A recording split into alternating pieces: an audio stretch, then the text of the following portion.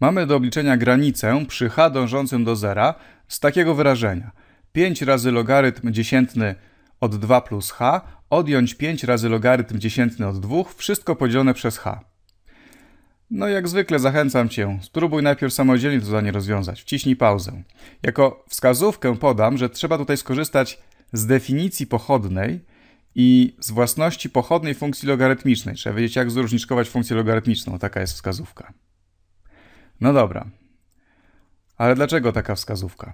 No jak patrzymy na to wyrażenie, to ono wygląda, ono przypomina granicę ilorazu różnicowego, czyli tego, co jest używane do definicji pochodnej. Przypomnijmy sobie, że jak mamy jakąś funkcję f od x, to jak jest zdefiniowana pochodna tej funkcji f w jakimś powiedzmy punkcie a, no to to jest właśnie granica ilorazu różnicowego, czyli granica przy h dążącym do zera z f od a plus h, odjąć f od a, wszystko podzielone przez h.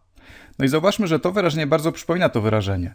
Może lepiej będzie to widać, jak ja tutaj tę piątkę wyciągnę przed nawias w liczniku, bo tutaj mam wspólny czynnik 5, mogę go wyciągnąć przed nawias.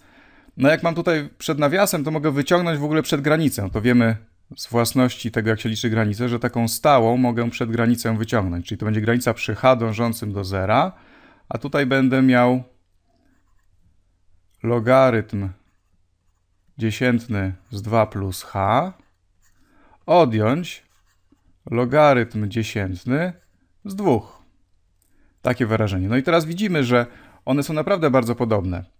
Wystarczy przyjąć jako naszą funkcję f od x, że to jest logarytm dziesiętny z x i wtedy przyjąć jeszcze a równe 2 i odtworzy nam się dokładnie to wyrażenie. Zobaczmy. Jak obliczę teraz dla takiej funkcji granicę ilorazu różnicowego w dwójce f' w punkcie 2, to co dostanę? No, granicę przy h dążącym do zera z ilorazu różnicowego. h w mianowniku, a w liczniku mamy tę funkcję, czyli logarytm dziesiętny w punkcie 2 plus h.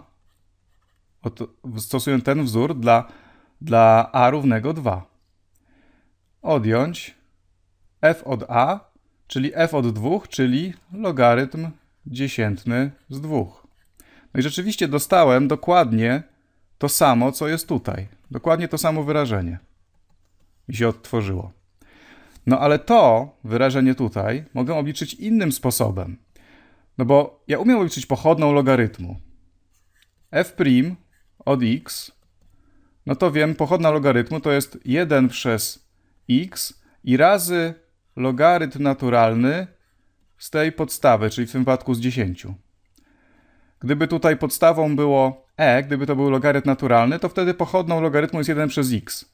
A jak mamy inną podstawę niż, niż e, nie jest to logarytm naturalny, no to wtedy to jest 1 przez x i jeszcze podzielone przez logarytm naturalny z tej podstawy. No i to się zgadza, bo logarytm naturalny z e to jest 1, wtedy ten wzór się upraszcza do 1 przez x. No jeżeli to wiem, no to mogę obliczyć ile jest f', może tutaj napiszę, f' od 2. Po prostu wstawię za x dwójkę i to, te, to wtedy będzie 1 przez 2 razy logarytm naturalny z 10. Czyli mogę obliczyć wartość tej granicy. Bo to będzie 5 razy 1 przez 2 razy logarytm naturalny z 10. Czyli mogę napisać to nawet w ten sposób. To jest 5 podzielone przez 2 razy logarytm naturalny z 10. No i to jest wynik tego zadania. Obliczyliśmy to, zauważając, że to, co tutaj mamy do obliczenia, to jest tak naprawdę granica ilorazu różnicowego, czyli wartość pochodnej pewnej funkcji w punkcie 2, a skądinąd wiemy, jak tę pochodną obliczyć. No i oczywiście z tego tutaj skorzystaliśmy.